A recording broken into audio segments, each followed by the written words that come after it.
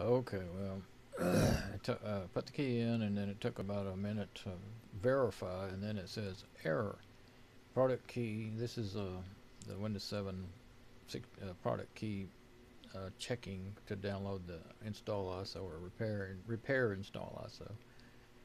Um, and uh, so it says the product key you entered appears to be for so, uh, software pre-installed by the device manufacturer.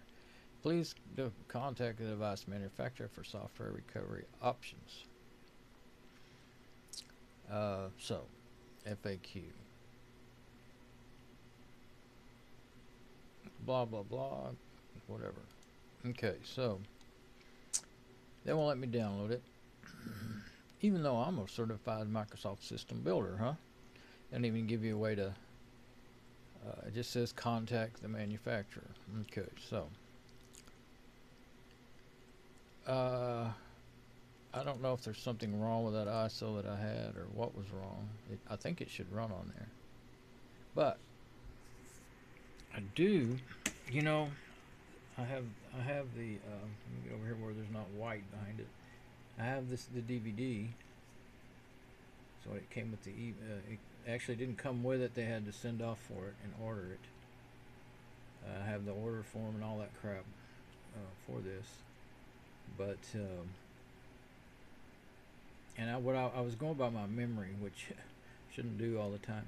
I'm just going to put this in there and see if it will have an install option. I was just thinking, well, I need to do a full install, and this is an upgrade kit. So I thought, well, it's not going to install it. But, you know, sometimes I have seen uh, upgrade CDs, uh, like in Windows XP days and stuff, that would do a full install. Some of them, from what I can remember anyway, some of them uh, would and some of them wouldn't. I never did figure out what why they made them so many of them so many different ways and everything. Oh yeah, see my lights over there. That's my uh, red black BioStar. I've got it up and running because I was gonna. What I was fixing to do was download that ISO again, and uh, I, because it said that it was fragmented on my uh, you know my my error messages, and I thought well maybe it just uh, didn't copy good or something over from my server. It could have been the original download is not well, fragmented. I mean, something about this Easy2Boot. It has to.